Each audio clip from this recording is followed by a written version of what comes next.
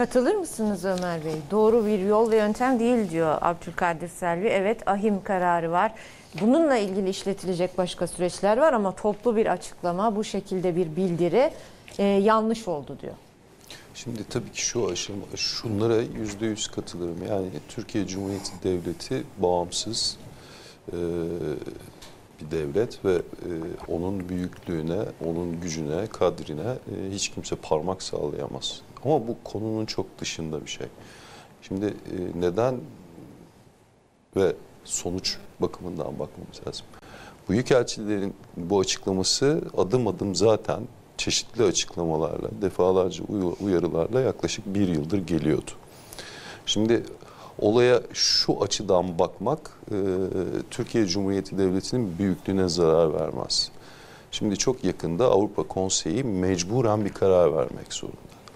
Tıpkı Türkiye Cumhuriyeti Devleti'nin bir hukuk devleti olması ilkesini koruduğumuz gibi tabi olduğumuz uluslararası sözleşmeleri de eğer anayasa bizim namusumuzsa, kimliğimizse onu da korumak. Ki bu ülkede siyaset yapan, parlamentoya giren, hükümette olan herkes o anayasanın üzerine Türkiye Cumhuriyeti'ni tanımlayan yapı odur, yemin eder. Şeref ve namusunu oraya koyar. Şimdi konsey bir karar verecek ve büyük, bu büyük elçiler Türkiye'yi o konseyde bir yaptırma tabi tutmak yönünde hareket etmek istemiyorlar. Bireysel açıklamalar da oldu toplu açıklamalardan önce.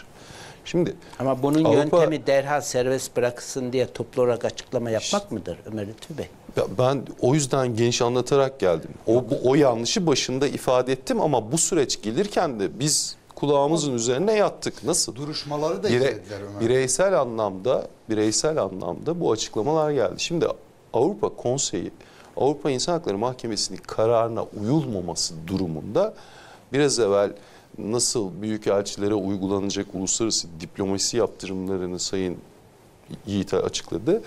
Burada da Avrupa Konseyi'nin adım adım yapması gereken şeyler var. Şimdi artık son noktaya geliniyor. Bir karar verecek ve Türkiye Cumhuriyeti Devleti al- aleyhine yaptırım yapılmasının hiçbir nedeni yok. Bunu Türkiye'yi bu noktaya taşımanın hiçbir nedeni yok. Şimdi taraf olduğumuz sözleşmeler, detaylara girmeye gerek yok. Bakın ismi geçen şahıslar tutuklu. Hiçbirisi hakkında kesinleşmiş hüküm yok. Şimdi zaten Sayın Ab- Abdülkadir Selvi de söyledi. Yani ben bunun da Türkiye'ye faydası yok dedi. Şimdi eğer Türkiye Cumhuriyeti demokratik sosyal hukuk devleti ise bir hukuk devleti kuralını uyguluyorsa bir kişinin tutukluluğunu ceza yaptırımı olarak uygulayamaz. Ve tabi olduğu beraber sözleşmeye imza attığı o ülkelerin büyükelçilerinin de ülkelerinin hükümetlerinden izin alarak bunu yapmanız gerekir. Yani bunu parmak sallayarak da e, ifade edebilirsiniz ki metni hepimiz biliyoruz. Yani bunu derhal yapmanız gerekir.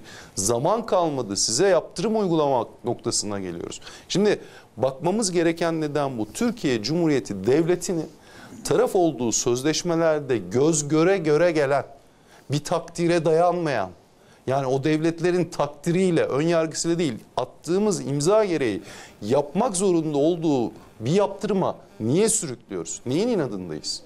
Şimdi bu tutuklu şahısların karartması gereken bir delil var mı? Yani Türkiye Cumhuriyeti'nin bir ceza kanunu var. Bir ceza usul kanunu var. Kaçma ihtimali var mı? Sen koskoca Türkiye Cumhuriyeti devletisin. Kaçırtmayacaksın. Her türlü tedbiri alma ehliyetin var. yasa, adli kontrol. Yargılamayı olabildiğince kısa sürede yapacaksın. E niye yapmıyorsun? Olay ne? Yani bir inatla bu orada tutuklu kalacak ve Türkiye'de koskoca Türkiye Cumhuriyeti Devleti de attığı imzayla belli yaptırımlarla muhatap kalacak. Ve bu büyükelçiler de diyor ki yazık ediyorsunuz yani iç siyasetinize İç siyasetinize, uluslararası politikayı alet etmeyin. Şimdi bakın Avrupa Birliği devletleri Türkiye Cumhuriyeti'ne göre iyi niyetlidir, kötü niyetli. Bakın Abdülkadir Bey o kadar net bir şey söyledi ki Amerika Birleşik Devletleri bir terör örgütü Türkiye'de kalkışmaya neden olmuş bir terör örgütü ben ona hani lider de demeyeceğim yani başını hakkında dava bile açılmıyor. Ama bakın bizim alışkanlıklarımız biraz Orta Doğu. Yani belgeler konuşur, müstehendatlar konuşur. Bu terör örgütü lideri Türkiye'de mahkum olmuş muydu? Mahkum olmuştu. Türkiye Cumhuriyeti Büyük Millet Meclisi 2009 veya 2007 tarihi yanlış hatırlıyor olabilirim. İtibarını iade eden bir yasa çıkardı mı? Şimdi bir yabancı neye bakacak? Senin Ömer Türkiye Bey, Büyük Millet 2015 Meclisi tarihinde oldu 15 Temmuz Bakın- darbe girişimi. 2016'da oldu. Çok doğru söylüyorsunuz. 2016'da Uyarınız- olan darbe, uyarınız çok yerinde. Darbe Ama- oldu ve darbenin lideri orada. Tabii ki. Siz Ama nasıl bakın- 2007'deki düzenlemeyi buna gerekçe olarak gösteriyorsunuz? müsaade ede- ederseniz açıklayacaktım. Hiç Türkiye bakın ya? açıklıyorum. Yani Türkiye ben şimdi burada Açıklıyorum. Ben burada Abdülkadir bakın Bey, bir açıklıyorum Siz bakın, hukukçusunuz. hukukçu ben burada olarak normal söylüyorum. vatandaşım. Kapıya çıktım cinayet işledim. O zaman Sizi- ne olurum? Katil sizi- olurum. sizin- Bana hukuk o andan itibaren işte. Tabii ki yüzde yüz doğru Tamam. söylüyorsunuz. Bu terör örgütü başı Türkiye Cumhuriyeti Devleti'ne karşı eylemlerinden dolayı mahkum oldu mu? Evet. Oldu. Ve bunu siz kaldırdınız mı? Şimdi tekrar diyorsunuz ki gene bunu yaptı. Ha, bunu yaptı Şimdi- demiyorum. bakın- 15 Temmuz'da darbe girişiminde bulundu ve bu darbenin lideri diyorum. Delilleri ortaya koy. 10 koli delil koyuyorum. Kapağını bile Tekrar- açmıyor tekrar adam. cümlemi izah ediyorum. Ha, izah edilecek bir durum yok aynı burada. iktidar- bakın. Adam darbe şimdi- yapmış. Bakın Darbenin lideri. Bey, ne siz olur geçmişi bırakalım. Hayır, geçmişi. Ama siz hukukçusunuz. Bu, ben Düşünsenize. hukukçu olarak söylüyorum Ha, zaten. Hukukçusunuz ama Çünkü hukuk katledildiği için, Hukuk, hukuk nasıl katledildiği için Darbe uluslararası- 2016'da olmuş. Siz Bakın 2007'deki Abdülkadir Bey, bir düzenlemeyi hukuk katledildiği için bir için bir defa gerekçe kat- olarak ku- ku- Konuşabilir miyim? kullanamazsınız. Ben Tabii. bir şey kullanmıyorum. Ama diyorsunuz. Ben bir şey kullanmıyorum. Yani sanki Amerika bu yaptığında masum gibi bir Hayır asla öyle bir şey demiyorum. Bakın dogmalarınızla dinliyorsunuz. Hayır, dinlemiyorum. Ön yargıyla dinliyorsunuz. Ben Anlatın diyorum ama. ki Amerika Birleşik Devletleri Türkiye Cumhuriyeti'ni bir bütün olarak görür. İktidarların hukuktaki oyuncakları olarak görmez. Eğer bu Türkiye bir Cumhuriyeti bütün olarak devleti gördüğü için mi FETÖ'yü Bakın, orada yargılamıyor bakın- ya da iade etmiyor? eğer konuşamayacaksak benim burada Ama zaman yani- harcama gerek yok. Hayır. Beni dinleyin cevabınızı Ben verin. sizi dinliyorum. Ben diyorum ki Türkiye Cumhuriyeti Devleti 10 yıl arayla aynı cürümden, aynı fiilden Aynı birini cürüm mahkeme değil kararı diyorum. değil. O, da Aynı devlete cürüm olur karşıydı. mu? O da devlete Ya karşıydı. burada bir darbe var. Sen Yani şimdi bakın ben burada darbe yok mu diyorum. Burada şehit vermedik mi diyorum. Hayır, şimdi- Bakın tartıştığımız konu Ömer Lütfü Bey sizin Amerika bir terör örgütü liderini orada Neden- ediyor. neden Siz ona gerekçe uyduruyorsunuz. Yapmayın. terör Amerika gerekçe bulsun. Siz niye gerekçe kalkışmadan buluyorsunuz? Önce, kalkışmadan önce 7-8 yıl O önce zaman Amerika'nın yaptığı doğru mu? Asla Kalsın o değil. zaman. E niye Asla değil. Siz hukuk devleti olmaktan uzaklaşırsanız, kendi kanunlarınızı, kendi iktidarınız Amerika Türkiye hukuk devleti olmaktan uzaklaştığı için mi yoksa orada bir teröristi yani darbeyi yaptırdığı yani 15 Temmuz darbesinin arkasında olduğu irade olarak darbeyi yaptırdığı maşayı korumak için mi iade Bravo. etmiyor? Siz o maşayı verirseniz onlar kullanır. Ya ne o ala- gücü Peki ne zaman çıktı? Bu. Peki FETÖ ne zaman gitti? bu. Peki Fe- FETÖ Türkiye'den ne zaman çıktı? gitti? Hangi liderler DSP, bunu destekledi? ANAP, Konu MHP koalisyonuna Bakın gitti. konu bu değil. Türkiye Cumhuriyeti Devleti'nin istikrarından bahsediyorum. Siz Türkiye Cumhuriyeti Hiçbir üzerinde gerekçe emelleri bir terör olan örgütü liderini Türkiye'ye Bakın, iade Türkiye etmemeye, Cumhuriyeti yargılamamaya sebep olamaz. kötü emelleri olan Hiçbir gerekçe. emperyal devletlere çıkarınız doğrultusunda günü geldiğinde maşa verirseniz onlar da kullanır.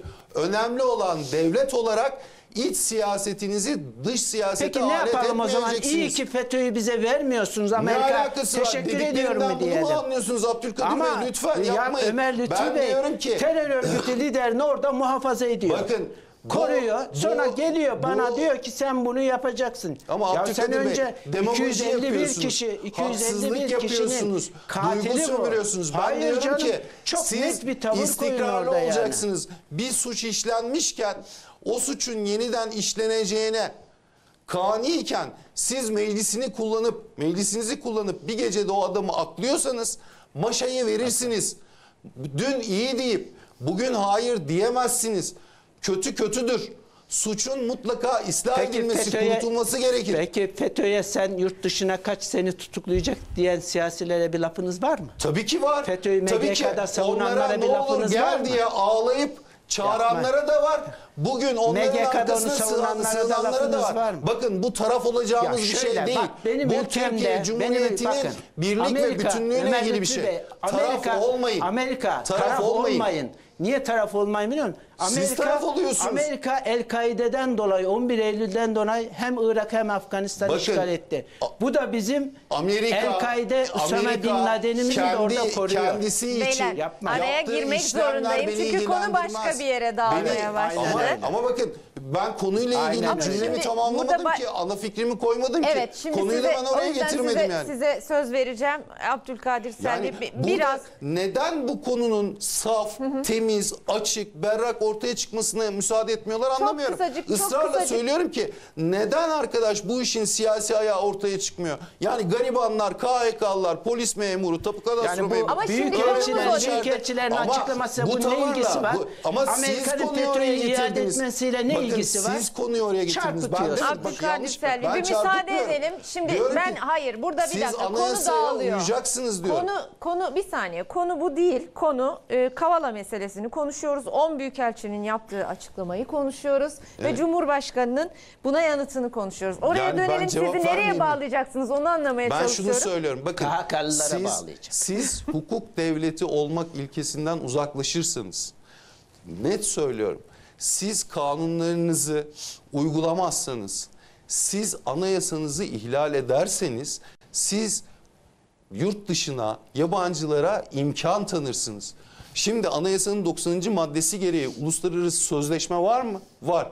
Avrupa İnsan Hakları Sözleşmesi'nin tarafı mısınız? Tarafısınız.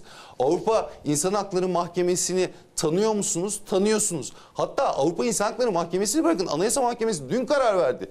Gezi olaylarında terör ve e, gösteri e, yürüyüş kanununa aykırı bir durum yok. Bunları ispat edemiyorsun dedi. Şimdi buna rağmen siz burada isimlerin hiçbir önemi yok.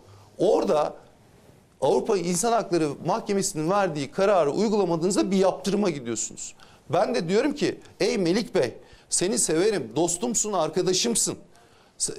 6 ay önce konuşuyoruz, toplantılar oluyor, komisyonlar ya Avrupa Konseyi buna karar vermek zorunda. Sana bir yaptırım uygulayacak. E kalmış şurada bir ay. En Siz sonunda diyor ki açıklamasını bu Peki, minvalde peki siz bu ülkelerin yerinde olun ve Türkiye Cumhuriyeti ile geleceği beraber yaşamak istiyorsunuz. O uluslararası sözleşmelerde hala imzasının bulunmasını istiyorsunuz. Ne yaparsınız? Artık ne, nasıl uyarı